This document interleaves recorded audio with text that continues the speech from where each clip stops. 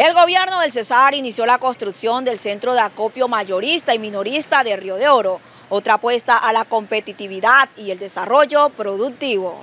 Va a permitir tener una comercialización directa entre el consumidor final y el productor. Con eso buscamos, con esta inversión de 2.800 millones de pesos, esperamos terminar en los próximos meses, cuenta con todas las características requeridas, zona de parqueo, rampa, oficinas, baños, mezaninis, cuartos fríos, bodegas, zonas de almacenamiento. Llega para darle solución a muchos problemas que tienen los campesinos. Se acaba la intermediación, se busca negociaciones en cantidades, se hace un acuerdo de comercialización para que Río de Oro sea la despensa agrícola de algún municipio cercano o de algún departamento vecino. Realmente la capacidad y la vocación de producción de Río de Oro va a permitir tener una comercialización directa entre el consumidor final y el productor.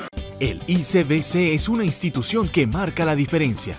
Prestamos servicios como cardiología clínica, cardiología intervencionista, programa de cirugía cardiovascular, hemodinamia, electrofisiología e intervencionismo neurocardiovascular, vascular periférico, métodos diagnósticos destacando cardiología no invasiva, Además, contamos con el servicio de unidad de cuidados intensivos y hospitalización, un equipo humano comprometido en el cuidado y monitoreo de nuestros pacientes, brindando un servicio oportuno según la necesidad.